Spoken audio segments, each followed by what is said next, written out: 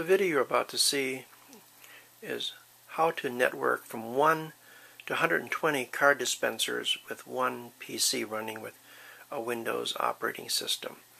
We have four of our CTD 200 series either with USB in this case connected up to a Windows uh, OS computer and on the screen here we have the program which is the API card tester and we have from uh, COM port 9, 10, 11, and 12 set up. So um, my first dispenser on the far left is set up for COM 9. So if I hit my dispense button over here, which is an 80 hex, I will get a dispense.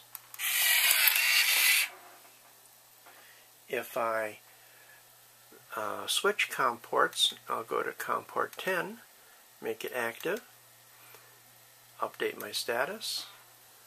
I now will get from the next dispenser.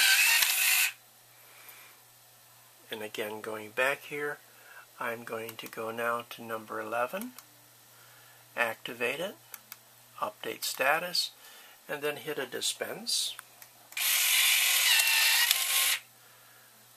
Going back here to the last one, which is COM12 I've set up. Again, make it active, update the status, and then hit dispense. And I'm now just giving an example of how to dispense four cards. But this can be 1 to 120 dispensers uh, using a, a USB um, ports on your PC giving unlimited capabilities with a touchscreen PC for dispensing uh, cards and tickets using a Windows operating system and a CTD 202 series card dispenser. Over here back on the program to show you what we have we're able to use an 80 hex to, for a dispense. These are different statuses that we can set it for, including all the way down here our multi-dispense, so we can tell the machine that we want to dispense two cards on a dispense.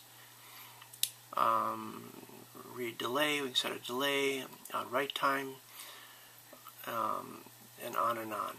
So, and we also can delay so that you dispense the card and will delay and hold the card until you get a second command to actually drop the card.